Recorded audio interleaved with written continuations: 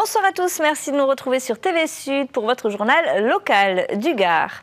La tête de liste du Parti socialiste et de l'Union de la gauche, Françoise Dumas, était en meeting salle des Costières à Nîmes devant 800 personnes hier soir.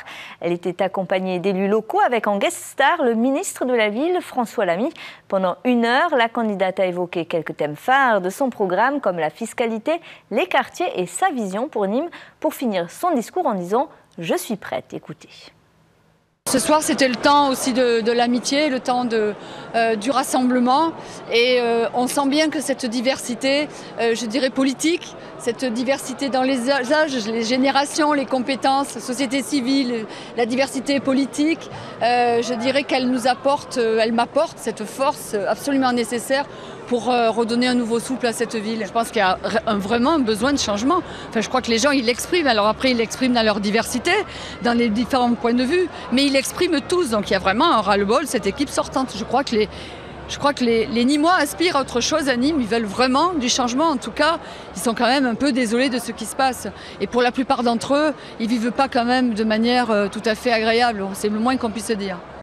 Toujours dans la dernière ligne droite des élections municipales, les principaux candidats alésiens ont enchaîné aussi cette semaine les meetings à l'espace Caso, une des dernières occasions de fédérer leurs troupes avant le premier tour de ce dimanche 23 mars. Olivier Michel. À trois jours du premier tour, les militants UMP alésiens sont à. Après trois mandats, Max Roustan a choisi de récidiver avec sa liste Tous ensemble dans le bon sens, motivé par la double casquette de maire et de président d'Aglo qu'il juge indissociable.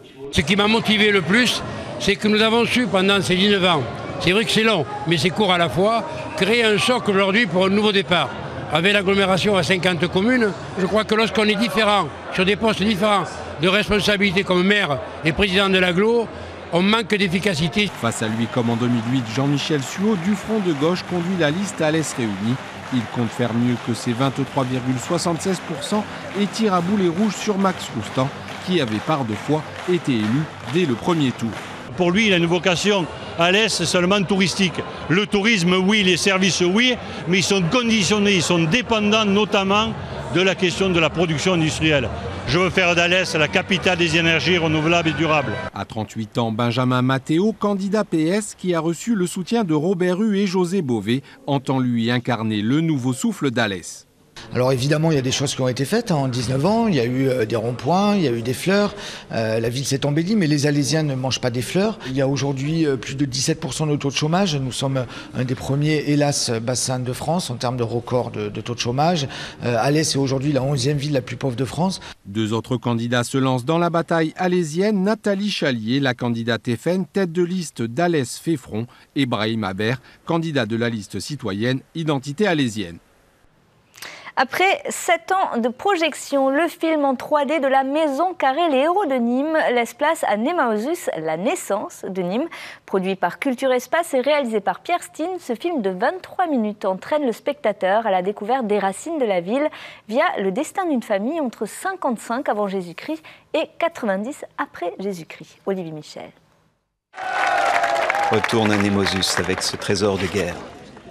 Là-bas, tu développeras la cité Nemosus Augusta, sur le modèle de nos plus belles cités romaines. C'est l'histoire de la création de Nîmes autour de sa source que nous compte le film Nemosus. Durant 23 minutes, ce docu-fiction retrace 150 ans d'histoire de la tribu gauloise des Volques en moins 55 avant Jésus-Christ jusqu'à leurs descendants romains, fondateurs de Nîmes en l'an 90. On part d'une stèle donc, qui est au musée de Nîmes, d'Agenius Macrinus, donc ça c'est un notable romain, mais par son nom euh, d'Agenius, on sait qu'il est d'origine gauloise.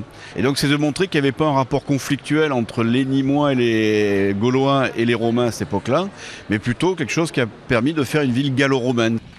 Gladiateur, soyez brave et vous vivrez. Un film tourné avec 200 figurants en 9 jours à Nîmes, au Mas des Tourelles à Beaucaire, mais aussi à Rome dans les studios de Cinecittà. Ça, c'était une chance énorme de pouvoir tourner là-bas. Nous avons eu accès au, décor de la série Rome de HBO, la chaîne américaine.